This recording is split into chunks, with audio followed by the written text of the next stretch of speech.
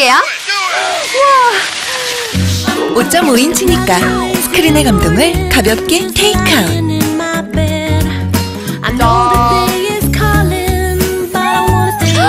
진짜 가벼운데? 모든 것을 갖고도 가볍게. 뚫만하네.